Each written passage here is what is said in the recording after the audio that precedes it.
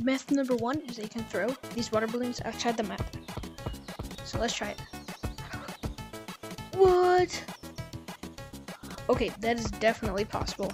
That's confirmed. Myth number two. These new firework launchers, well, kind of new, firework launchers are collidable now.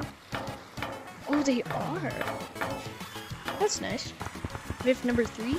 You can actually count that thing up if you make the volleyball into the net.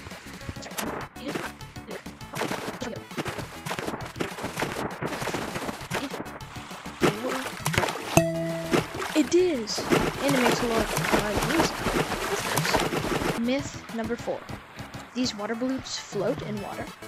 Let's try. It. Oh, what? What is happening to it? Oh my goodness!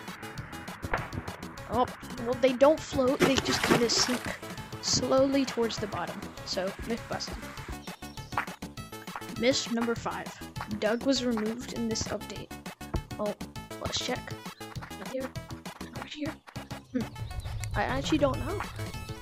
But it kind of looks like Doug has been removed. So I guess. Oh wait, no, there he is. Doug. There he is. Hey, buddy. He will never leave Gorilla Tag. Myth number six. You can hit Doug with the water balloon. Let's try it. I think it just goes through him. Yup, it just goes through Doug. Doug is invincible to the water balloons. Myth busted myth number seven, you can actually hit people with the water balloons in paintball, and it gets rid of a life or slows them down.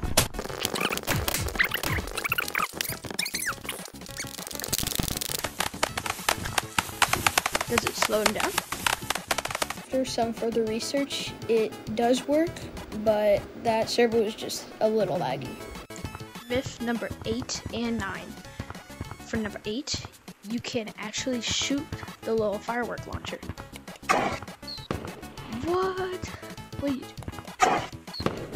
That is sick. Number nine, you can eat the marshmallow on a stick. Uh, oh wait, you can. Nice. So the next myth is, can you roast the marshmallow? But I don't have it, so we're gonna join some public lobbies and see if anyone else has it. So I actually got told from someone in a public lobby that it does, and you don't actually have to have it to roast it. Look, you can roast it on this fire. Put oh, it.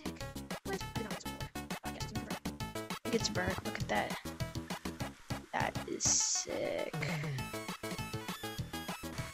If you enjoyed this video, please consider subscribing.